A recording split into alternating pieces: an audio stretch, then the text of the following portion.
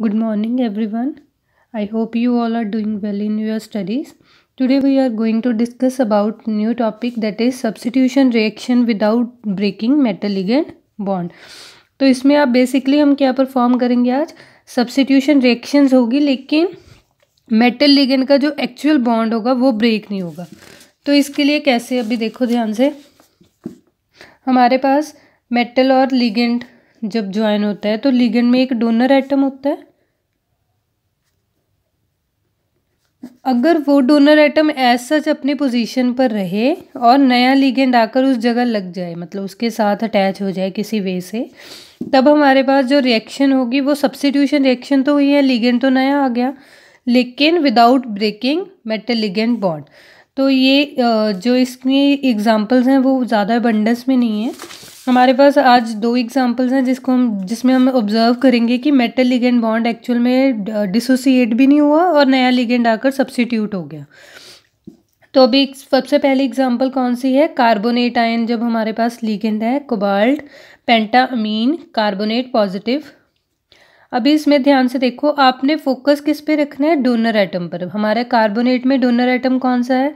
Via oxygen हमारा carbonate cobalt के साथ बॉन्ड बनाता है। तो हमने डोनर आइटम को एक साइड रखना है, साथ में जो बाकी का मॉलिक्यूल है, उसे उस हिसाब से मोल्ड कर लेना है। नेक्स्ट हमने क्या किया, इसमें एसिड अटैक करवाया। टू एच पॉजिटिव यानी कि एसिड एसिडिक मीडियम प्रोवाइड किया। और हमारे पास जो कार्बन डाइऑक्साइड वो क्या है सिस्टम से इवॉल्व हो गई और उसकी जगह क्या आके लग गए दो एच तो अभी देखो, हमारे पास पहले ये लिगेंड क्या था? कार्बोनेट अभी हमारे पास क्या है? वाटर तो हमारे पास सब्सिट्यूशन रिएक्शन परफॉर्म हुई। लेकिन ये कैसे जस्टिफाई होगा कि ये हमारे पास जो ऑक्सीजन है, वो कार्बोनेट आयन की है या नहीं? इसके लिए हमने क्या किया? आइसोटॉपिकली लेबल्ड कर दिया। अब आप आइसोटॉपिकली अगर लेबल करना चाहते हो तो आपके पास दोनों ऑप्शन अवेलेबल हैं। या तो आप अपने कार्बोनेट में जो ऑक्सीजन हैं, उनको आइसोटॉपिकली लेबल कर दो, या फिर आपने जो सिस्टम से बाहर वाटर ऐड किया है, उसकी ऑक्सीजन को आइसोटॉपिकली लेबल कर दो। तो हमारे पास रिजल्टेंट क्या होगा? अगर ये ऑक्सीजन ये वाली ऑक्सीजन वहाँ जाकर वाटर के आ, मतलब वाटर जब लगा है हमारे पास यही डाउट क्लैरिफाई करना है कि अगर हमारा वाटर ने ऑक्स वाटर अटैच हुआ है या सिर्फ़ एच अटैच हुआ है तो उसके लिए अगर हमने इसको आइसोटॉपिकली लेबल कर दिया तो हमारे पास क्या सिचुएशन होगी? यहाँ पर क्या होना चाहिए था? अगर ये वाटर अटैच होता सिस्टम के अंदर तो हमारा आइसोटॉप यहाँ होना चाहिए था। लेकिन वो तो अभी भी इसे करेक्ट कर लेना। हमारे पास एच टू ओ एटीन है। नेक्स्ट क्या है? सेकंड आप ऑप्शन कैसे यूज़ कर सकते हो? यहाँ आप अपने कार्बोनेट आयन को आइसोटॉपिकली लेबल कर दो। अभी आप फिर से नॉर्मल वाटर ऐड करो, जिस, और एसिडिक मीडियम प्रोवाइड करो। आप क्या ऑब्ज़र्व करोगे कि आपका जो आइसोटॉपिक लेबल कार्बोनेट आयन का ऑक्सीजन है, वो सिस्टम के अंदर स्टिल आपको ऑब्ज़र्व होगा। और हमारा जो एच पॉजिटिव है, वो सिस्टम से बाहर से आके लग जाएँगे। तो आप दोनों तरीक़ों से अपने वाटर को अवेलेब चेक कर सकते हो कि यहाँ पर सब्सिट्यूशन रिएक्शन परफॉर्म हुई है विदाउट ब्रेकिंग मेटलिगेंट बॉन्ड तो इसके लिए मैकेनिज़्म स्टडी करेंगे। सबसे पहले मैकेनिज़्म ज़्यादा डिफ़िकल्ट नहीं है बट स्टिल थोड़ा सा टीडियस है। सबसे पहले आप क्या करोगे? आपने अपने सिस्टम में जैसे बाकी के लिगेंड्स इनर्ट हैं वो सिस्टम से बाहर नहीं जाने वाले। तो इसका मतलब आप उन्हें एक साइड पर आ, कर लोगे आ, और नेक्स्ट आपका जो कार्बोनेट आयन है आप उसे कैसे मेंशन करोगे? एक्सटेंड करोगे क्योंकि हमने बार बार इसी पर फोकस करना है कि मेटल और लिगेंड का बॉन्ड ब्रेक नहीं हुआ। तो उसी तरह से एक्सपेंड करके लिखना पड़ेगा। तो हमारे पास कार्बन जो हमारे पास कार्बोनेट आयन होता है उसकी जो अरेंजमेंट होती है वो इसी तरह से होती है। तब आपने सबसे पहले आप क्या करोगे? एच पॉजिटिव का अटैक करवाओगे। तो अभी जब आप एच पॉजिटिव का अटैक करवाओगे तो सबसे ज़्यादा इलेक्ट्रॉन डेंसिटी किसके पास अवेलेबल है? इन ऑक्सीजन्स के पास, क्योंकि नेगेटिव चार्ज है ना टू नेगेटिव तो यहाँ पर इन ऑक्सीजन के पास इलेक्ट्रॉन डेंसिटी अवेलेबल है तो ये क्या करेंगी? इस एच पॉजिटिव को क्या कर लेंगी? अब्स्ट्रैक्ट कर लेंगी। तो अभी हमारे पास क्या हुआ? ओ एच हो गया, और दूसरी साइड हमारे पास फिर से double bond O two positive है। अभी नेक्स्ट क्या हुआ? नेक्स्ट ये है कि हमारे पास जब हमने हाइड्रोजन का जो शिफ्टिंग किया है one two three one three hydride shift तो आप इसे यहाँ पर मेंशन कर लो वन थ्री हाइड्राइड शिफ्ट जब भी आप किसी भी लीगेंड को शिफ्ट करते हो चाहे आप यहाँ से मिथाइल शिफ्ट कर रहे होते हैं तो आप लिखते हैं, कौन सी पोजीशन पर एक्चुअल में वो एटम है और आप उसे कहाँ लेके जाना चाह रहे हो, वो एटम काउंट करोगे। कई बार लेबल का तरीका अलग अलग होता है, कई बार उसे वन टू बॉन्ड शिफ्ट भी कह देते हैं, पर वो बॉन्ड शिफ्ट होती है। तो यहाँ पर आपने एच को किस एटम पर अभी लेबल किया है, पहले इसे जिस, जहाँ पर वो ओरिजिनल था, उसको वन देना होता है वन टू थ्री तो हमारे पास क्या होगी? वन थ्री हाइड्राइड शिफ्ट क्योंकि एच पॉजिटिव या हाइड्रोजन शिफ्ट भी बोल सकते हो। तो फास्टली हमारे पास क्या होगा? एच को आपके इस ऑक्सीजन के पास लेबल कर दिया। क्योंकि ये तीनों अभी कार्बोनेट के पार्टी हैं तो ये हाइड्रोजन यहाँ पर भी जा सकते हैं। तो ये हाइड्रोजन जब यहाँ पर जाएगी तो यहाँ पर अनस्टेबिलिटी हो जाएगी। क्यों हो जाएगी? क्योंकि ऑक्सीजन के कितने बॉन्ड हो गए? एक, दो, तीन। जब भी ऑक्सीजन के दो से ज़्यादा बॉन्ड होते हैं तो ऑक्सीजन पर चार्ज डेवलप हो जाता है पॉजिटिव तो इसका मतलब अपनी स्टेबिलिटी को और जब भी इलेक्ट्रो नेगेटिव एटम पर पॉजिटिव चार्ज रिसाइड करेगा, वो अनस्टेबिलिटी कॉज करता है। इसका मतलब ये हाइड्रोजन या तो ये हाइड्रोजन दोबारा से चला जाए। अगर ये चला गया तो ये फिर से यही आ जाएगा। फिर तो नया प्रोडक्ट नहीं मिला। इसका मतलब अभी अरेंजमेंट कैसे होगा? अभी हमारा जो ये कार्बन ऑक्सीजन का ये जो बॉन्ड है, ये क्लीव करेगा। इस बॉन्ड में जो दो इलेक्ट्रॉन्स हैं, वो किसको दिए जाएँगे? ऑक्सीजन को दिए जाएँगे। और हमारे पास ओ OH दोबारा से आके ओ OH लग जाएगा और कार्बन डाइऑक्साइड सिस्टम से इवॉल्व हो जाएगी। और ये वाला स्टेप हमारा स्लो स्टेप होगा। कार्बन डाइऑक्साइड का सिस्टम से जाना हमारा स्लो स्टेप होगा। क्योंकि अगर आपको रेट डिटर्मिनिंग स्टेप जज करना हो तो आप यहाँ पर अगर फास्ट वर्ड ना भी लिखा होता तो भी हमने क्या, हमने पिछली वीडियोस में भी डिस्कस किया है, जब मैंने एसिड कैटलाइज डिस्कस किया था कि इक्विलिब्रियम कभी भी आपका रेट डिटर्मिनिंग स्टेप नहीं होता। तो चाहे यहाँ फास्ट वर्ड मेंशन हो या ना हो, ये रेट के लिए कोई फेवरेबल फैक्टर नहीं है। तो यहाँ पर रेट कंट्रीब्यूशन किसकी वजह से आएगी? इसकी वजह से। अभी जो नेक्स्ट स्टेप होगा, वो भी कैसा होगा? दोबारा से जब H positive second H positive भी तो अटैच करना है, क्योंकि वाटर दिखाना है।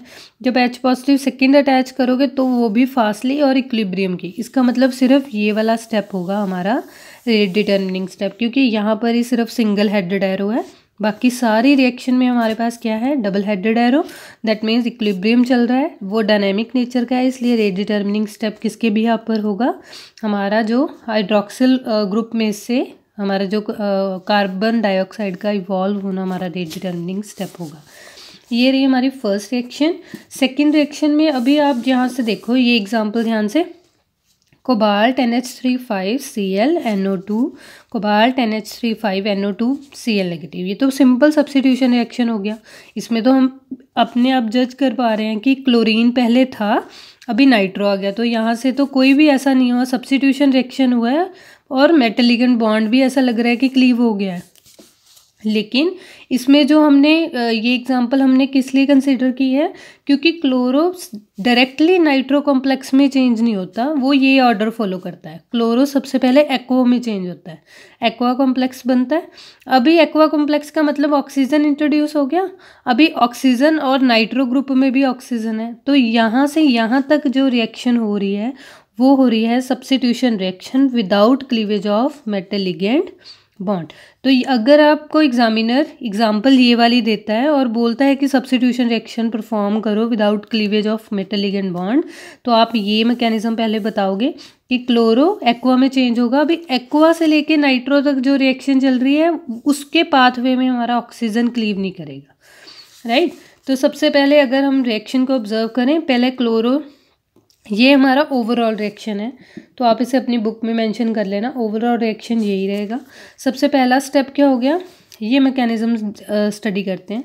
सबसे पहला स्टेप क्या है? क्लोरो का एक्ो में चेंज होना। तो वो तो हमने हाइड्रोलिसिस रिएक्शन पढ़ रखी है तो हम इजीली कर लेंगे। हाइड्रोलिसिस रिएक्शन परफॉर्म करोगे तो हाइड्रोलिसिस रिएक्शन में वाटर आ जाएगा क्लोरीन लीव कर जाएगा। नेक्स्ट स्टेप से स्टार्ट होगा हमारा सब्सिट्यूशन रिएक्शन जो हमने without cleavage of metallic bond करना है। तो अभी हमारे पास नेक्स्ट क्या हुआ? जो हमारे पास वाटर था, यहाँ पर water plus O H next step क्या करोगे? यहाँ पर इक्लिब्रियम इस्टेब्लिश हुआ है कि अगर एच पॉजिटिव ऐड हो जाए ओ एच में तो हमें दोबारा से वाटर मिल जाएगा। या दूसरा बैकवर्ड फॉरवर्ड स्टेप क्या करेंगे कि ओ एच में से अगर एच लीव कर जाए तब हमारे पास ये सिचुएशन होगी। तो अभी हमारे पास एक इक्वेशन तो हमारी ये हो गई। नेक्स्ट है, हमने नाइट्रो ग्रुप इंट्रोड्यूस करना है तो नाइट्रो ग्रुप के लिए जो प्रेफरेबल इलेक्ट्रोफाइल कहाँ से जनरेट करोगे? नाइट्रस एसिड से। लेकिन नाइट्रस एसिड की प्रॉब्लम क्या है? ये स्टेबल फॉर्म नहीं होती, हमेशा सीतू में प्रिपेयर होती है। इसलिए हम प्रेफर क्या करते हैं कि नाइट्रिक एसिड लेते हैं, उसे नाइट्रस में चेंज करते हैं, फिर उसकी जो अलग फॉर्म हमें चाहिए, उसमें कन्वर्ट करते हैं। तो यहाँ पर भी सेम है। H N O two nitrous acid लिया, उसे N two O three nitrogen के डाइऑक्साइड में कन्वर्ट किया और वाटर रिलीज़ हुआ। अभी ये कॉम्प्लेक्स जो नाइट्रोजन का ऑक्साइड है, इसको आप अपने पहले जो हमारा रिएक्टेंट बना था, उसके साथ रिएक्ट करवाओगे। तो अभी ये क्लीवेज इंपॉर्टेंट है। तो ये ज्वाइनिंग आप ऐसे करोगे तो आपको फाइनल प्रोडक्ट ऐसे मिलेगा।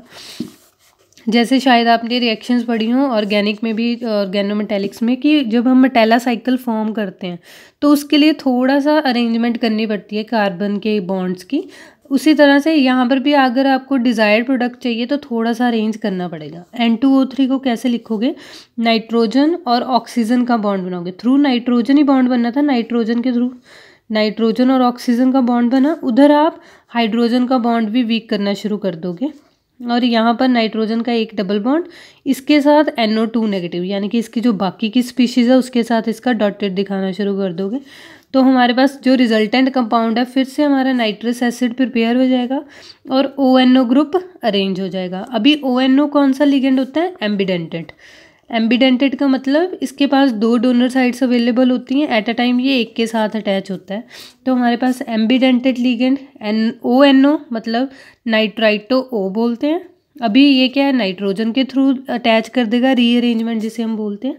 रीअरेंजमेंट होगी। तो इस वजह से हमारे पास क्या होगा? कोबाल्ट एन ओ टू तो नाइट्रोजन के थ्रू अटैच हो जाएगा। तो हमारे लिए बेसिक जो हमारी रिएक्शन हो रही है, वो यहाँ तक हो रही है, नाइट्राइटो ओ तक। यहाँ पर देखो, यहाँ से चलकर यहाँ तक हमारा जो बॉन्ड है ऑक्सीजन का, वो क्लीव नहीं हुआ। अगर डायरेक्ट प्रोडक्ट यहाँ पर नाइट्रो का देखोगे तो ऐसा लगेगा कि क्लीव हो गया, क्योंकि नाइट्रोजन पहले यहाँ पर ऑक्सीजन था, अभी यहाँ पर नाइट्रोजन है। तो यहाँ तक हमारे पास जो जितने स्टेप्स परफॉर्म हुए हैं, वहाँ हुई है substitution reaction without cleavage metal ligand bond that's all about this topic अभी हमारे पास जो सेकेंड टॉपिक है, वो कौन सा है? लीगेंड डिस्प्लेसमेंट मैकेनिज्म और मैकेनिज्म ऑफ़ सब्सिट्यूशन रिएक्शन तो ये मैकेनिज़्म काफ़ी इजी हैं, क्योंकि हमने ऑक्टाहेड्रल की केस में ये रिएक्शन की हैं। लेकिन कई बार एग्जामिनर आपको स्पेसिफिक यही पूछता है कि various possible mechanism of substitution reaction उसने ना आपको ये लेबल किया है कि आपने ऑक्टाहेड्रल के लिए पूछा गया है, ना आपको स्केयर प्लेनर के लिए पूछा गया है। जस्ट आपको सिर्फ़ मैकेनिज्म पूछे गए हैं कि जो पॉसिबल हो सकते हैं सब्सिट्यूशन रिएक्शंस में। तो और कुछ नहीं होगा जस्ट क्वेश्चन को अटैम्प्ट करने का जो फॉर्मेट है, वो थोड़ा सा वेरी कर जाएगा। सबसे पहले आप क्या बताओगे? The mechanism of reaction is the sequence of elementary reaction involve in a reaction जो हमारे पास मैकेनिज्म होता है, वो कैसे इंट्रोड्यूस होता है कि आप रिएक्टेंट टू प्रोडक्ट देखो, उसे बनाने में हमने कितने एलिमेंट्री स्टेप्स किए हैं, वो बेसिकली होता है हमारा mechanism the substitution reaction of complex takes takes place through either of the following mechanism अभी हमने कोई एस एन वन नहीं बोलना, कोई एस एन टू नहीं बोलना सिंपल एसोसिएटिव डिसोसिएटिव और इंटरचेंज ये टाइप अलग ऐड हुई है और ये इंपॉर्टेंट भी है. हमेशा एग्ज़ाम में आपको फोर मार्क्स के क्वेश्चन में ये पूछी जाती है. अगर आपको क्वेश्चन कंप्लीट फुल फ्लेज मिलेगा कि मैकेनिज्म ऑफ़ सब्सिट्यूशन रिएक्शन तो अब आप तीनों को एक्सप्लेन करोगे? लेकिन अगर आपको अकेला कंपलसरी क्वेश्चन में इंटरचेंज मैकेनिज्म मिलता है तो आपने सिर्फ़ इंटरचेंज को एक्सप्लेन करना है। तो सबसे पहला मैकेनिज्म क्या है? डिसोसिएटिव मैकेनिज्म अभी डिसोसिएटिव मैकेनिज्म क्या है? वर्ड क्लैरिफाई कर रहा है कि हमारा जो पहला स्टेप होगा, वो क्या होगा? डिसोसिएशन होगा। In the dissociative mechanism there is a step in which intermediate of reduce coordination number is formed तो आप अपनी लैंग्वेज को उसी तरह से मॉडिफाई करते रहोगे। आप नहीं बोलोगे कि हमारा कोऑर्डिनेशन नंबर सिक्स से फाइव होगा या आप स्केयर प्लेनर के केस में नहीं बोलोगे कि फोर से थ्री होगा। You can just say that कि कोऑर्डिनेशन नंबर जो हमारा इंटरमीडिएट का है वो रिड्यूस हो जाएगा। सो so दैट इससे हमें क्या जस्टिफाई हो गया कि मेटल लिगेंड का बॉन्ड क्लीवेज हो जाएगा? यहाँ पर एम एक्स इसलिए शो कर रही हूँ क्योंकि मैंने एग्ज़ाम्पल में लिया है। अगर आप यहाँ नहीं लेना चाहते तो आप लैंग्वेज में लिखो M L metal ligand bond break होगा। Is fully broken before M Y bond begins to form तो यहाँ पर सिचुएशन क्या होगी कहता है एम एक्स बॉन्ड पहले पूरा कम्प्लीटली ब्रेक होगा, फिर एम वाई बॉन्ड नया बनेगा। तो हमारे पास यहाँ पर अगेन हमने ऑक्टाहेड्रल के केस में जैसे मैंने कंसीडर किया M X L five M L five और हमारे पास M L five M Y का कॉम्प्लेक्स बन जाएगा। अभी यहाँ पर आप अपनी जो लेंथ है क्वेश्चन की कैसे बढ़ा सकते हो? आप ऑक्टाहेड्रल की हमने एग्जांपल कंसिडर कर ली तो आप उसके जो ये मैकेनिज्म हमने ऑक्टाहेड्रल के केस में अलग अलग स्टडी किए थे प्रॉपर तो आप उस लेंथ को यहाँ पर इंट्रोड्यूस कर दोगे। सारे क्वेश्चन को प्रीवियस वीडियो में जब मैंने mechanism of octahedral substitution reaction discuss किया था। तो डिसोसिएटिव और एसोसिएटिव का पोर्शन आप स्टार्टिंग बस इस लैंग्वेज में करना और उसके बाद अपन, आप अपनी वही लेंथ ऑक्टाहेड्रल वाली इंट्रोड्यूस कर सकते हो। Where L is the inert ligand और हमेशा जब भी आप कोई भी रिएक्शन करते हो तो आप अपने जो भी आपके जो सिस्टम है, जो भी आप लेके चल रहे हो रिएक्टेंट उसका हर एक चीज़ एक्सप्लेन किया करो। दैट इज़ एल हमने क्यों एल को अलग नोटेशन दी और एक्स को क्यों दी है? क्योंकि एल हमारा इनर्ट लिगेंड है, यानी कि वो से लीव नहीं करेगा। और एक्स हमारा क्या है? लेबाइल यानी कि वो लीव करेगा। The rate determining step is the slowest elementary reaction. The rate of overall reaction depend only on the concentration of original complex. तो यहाँ पर आप स्लो और फास्ट का मेंशन करोगे। स्लो में ये सिर्फ़ इसकी कंसंट्रेशन पर डिपेंड कर रहा है। वाई की कंसंट्रेशन पर डिपेंड नहीं कर रहा। नेक्स्ट वैसे ही आप रेट लिखोगे। रेट हमारा कंसंट्रेशन पर। फिर बाद में बोलोगे कि ये फ़र्स्ट ऑर्डर जैसा पेयर हो रहा है तो इसे हम एस एन वन मैकेनिज्म बोल सकते हैं। जिसमें हमारा कोऑर्डिनेशन नंबर इंटरमीडिएट का क्या होगा? फाइव होगा। तो अभी एसोसिएटिव में भी similar associative mechanism involve the step in which intermediate is formed with a higher coordination number than the original complex अभी आपने कोई नंबर मेंशन नहीं करना, सिर्फ़ ये वर्ड बोलना है कि कोऑर्डिनेशन नंबर बढ़ जाएगा। The incoming ligand Y directly attacks the original complex and the coordination number intermediate हमारे पास अगर आप सिक्स का लोगे तो सेवन का अदरवाइज़ आप कोऑर्डिनेशन नंबर यहाँ मेंशन ना करो। इन रेट डिटर्निंग स्टेप तो आपने कोई एग्जांपल कंसीडर लेना है? कंसिडर दिस एग्ज़ाम्पल तो यहाँ पर मेंशन करोगे एल क्या है हमारे पास? इनर्ट लिगेंड है एक्स क्या है हमारा? लिबाइल लिगेंड है वाई क्या है हमारा? न्यूक्लियोफाइल है। पहला स्टेप है कोऑर्डिनेशन नंबर रेज करेगा। अभी हमारे पास कोऑर्डिनेशन नंबर यहाँ से सेवन हो गया है। तो इसके दो पॉसिबिलिटी हैं, या ऑक्टाहेड्रल वेज हो सकता है, या पेंटागलर बायोपिरामिडल हो सकता है। अगेन आप उस वीडियो को फिर से जो पार्ट हमने वहाँ पर डिस्कस किया था, इन दोनों मैकेनिज्म को डिटेल डिस्कशन दी थी, और रीज़न भी दिया था, कौन सा स्टेबल होगा कौन सा नहीं होगा तो उसको एक बार से सुन के फिर से यहाँ पर ऐड कर लेना। नेक्स्ट है हमारे पास कि आप रेट यहाँ पर हमारे पास दोनों की कंसनट्रेशन पर डिपेंड कर रहा है तो हमारे रेट के रेट की वैल्यू क्या होगी? K M L five X अभी लास्ट में बोलोगे कि ये सेकेंड ऑर्डर रिएक्शन जैसा अपियर हो रहा है, क्योंकि दोनों की कंसनट्रेशन पर डिपेंड कर रहा है that's why we call it as S N two ये जो नेक्स्ट है, ये हमारे पास न्यू है। Interchange mechanism interchange mechanism basically क्या होता है कि आपके पास दोनों इंटरचेंज मैकेनिज़्म में क्या होता है? दोनों कम्प्लेक्सेस जैसे वाई ने हमें पता था कि वाई की सब्सिट्यूशन होनी थी एक्स ने लीव करना था तो दोनों ही अभी डॉटेड जुड़े होते हैं। तो जिस तरफ़ की बात करेंगे, जैसे इंटरचेंज आगे टू टाइप्स का होता है तो उसको हाईलाइट करना शुरू कर देंगे, उसको और वीक करना शुरू कर देंगे। तो बस ये फ़र्क होता है। The this mechanism takes place in one step forming a fairly stable intermediate instead the leaving group and the entering ligand and exchange is a single step तो यहाँ पर हमारे पास one step forming a fairly stable intermediate यानी कि हमें देखने में ऐसा लग रहा है कि जैसे एस एन टू टाइप ही है, कि दोनों जने पहले बार में इंट्रोड्यूस हो गए। तो यहाँ पर जो एक्टिवेटेड कॉम्प्लेक्स होगा, वो इसी फॉर्म का होगा। The interchange mechanism is common for many reaction of octahedral complexes. The activated complex has very little or no stabilization energy immediately passes on to product and revert to the reactant कहते हैं इसकी, इस it self इतनी stability नहीं होती। इसके पास दोनों chances होते हैं। या तो ये वापस से रिएक्टेंट की तरफ़ चला जाए, या तो ये आगे की तरफ़ मूव कर जाए। मतलब जैसे हमने एस एन वन और एस एन टू किया था तो हमने कभी भी ये बात नहीं बोली कि उसके बैक जाने के चांसेस है। हमने क्या बोला कि आगे क्लीवेज होकर नया न्यूक्लियोफाइल ही बनेगा। मतलब नई रिएक्शन होगी। लेकिन इंटरचेंज मैकेनिज़्म का ये फ़र्क है कि यहाँ पर जो इंटरमीडिएट बनता है उसकी स्टेबिलिटी ना के बराबर होती है। उसके हमें नहीं पता कि आपकी एक्टिवेशन एनर्जी अगर ऐसी हुई कि आप मतलब प्रोडक्ट हमारा कुछ हायर एनर्जी का हुआ या कुछ भी सिस्टम सिचुएशन हुई तो हमारा रिएक्शन बैक भी जा सकता है और फॉरवर्ड भी जा सकता है। In this mechanism, the MX bond begin to break and starts to move away from the metal. And MY bond begin to form simultaneously and Y moves into the coordination sphere. तो आप इसे कैसे समझोगे कि जैसे हमने ion pair mechanism किया था तो उसमें आयन पेयर मैकेनिज्म में भी हमने ऐसे डिस्कस किया था कि वाई एकदम से अप्रोच नहीं करता कोऑर्डिनेशन सफियर में धीरे धीरे से एंटर करता है। तो उसी वे में यहाँ पर भी ऐसे ही है कि वाई धीरे से कोऑर्डिनेशन सफियर की तरफ़ मूव कर रहा है और एक्स कोऑर्डिनेशन सफियर से दूर जा रहा है। तो ये इंटरमीडिएट इस क्वालिटी क्या है? लेकिन वहाँ पर अब, अभी हमने जो S N one S N two में किया है, वहाँ पर हमारे पास एक्चुअल में क्या ऑब्ज़र्व हो रहा है कि वहाँ पर कंप्लीटली सफ़ियर के अंदर एक्स एक्स और वाई कम्प्लीटली सफ़ियर के अंदर है। तो ये फ़र्क है इंटरमीडिएट में। तो हमारे पास ये फर्दर टू कैटेगरी में डिवाइड किया हुआ है। एक इंटरचेंज डिसोसिएटिव एक इंटरचेंज एसोसिएटिव तो उसे मैंने ऐसे ही नोटेशन दी है। डिसोसिएटिव को आप आई डी बोलोगे, उसे आई ए बोलोगे।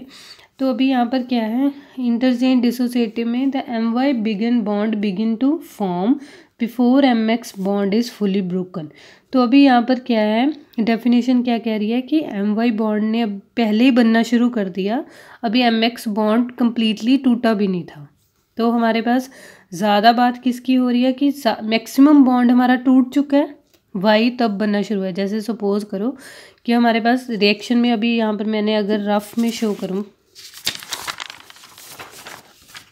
सिर्फ़ आपने इंटरमीडिएट को ध्यान से देखना है, उसके बिहाफ पर रिएक्शन डिसाइड करनी है। इंटरचेंज डिसोसिएटिव क्या बोल रहा है? कि हमारे पास अभी एम एक्स ऑलमोस्ट टूटने वाला था जैसे। सपोज़ करो एट्टी परसेंट बॉन्ड हमारा क्लीव हो चुका था, लेकिन उससे पहले ही ट्वेंटी परसेंट हमारा बॉन्ड क्या हो गया? बनना शुरू हो गया। तो ये ज़्यादा किसकी तरफ़ ये झुका हुआ है?